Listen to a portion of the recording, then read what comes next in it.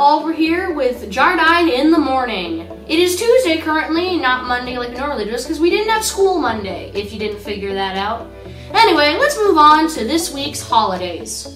On Tuesday, we have Honesty Day, so be sure to be as honest as you can. Wednesday is School Principal Day, so make sure to talk to Mr. Hare about how great a principal he is. On Thursday, it is National Byron Day, not Brian, Byron. And on Friday, it is School Lunch Hero Day. So make sure to celebrate all of our wonderful staff in the kitchen. Anyway, let's throw it over to sports.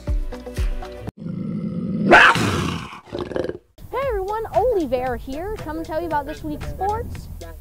On Wednesday, girls soccer is participating at the city tournament at Hummer, and on Thursday, track is also happening in Hummer. Anyway, let's toss it to the library for some very special book news.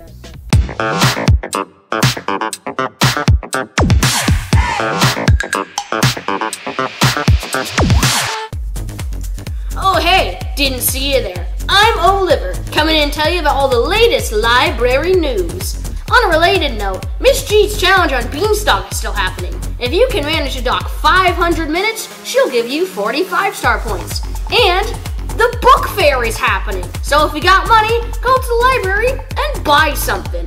I don't know what it could be. It could be a book, it could be a pointer stick. Who cares? Anyway, that's all it for me. Oliver signing off. DJ Oliver always cracking me up.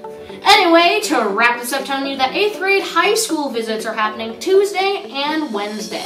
On Tuesday, 8th graders will be visiting T West if they are going to T West, and on Wednesday, T High students and Highland Park students will be going to their respective schools. As well, 7th grade will be taking their Kansas field trip all day Wednesday.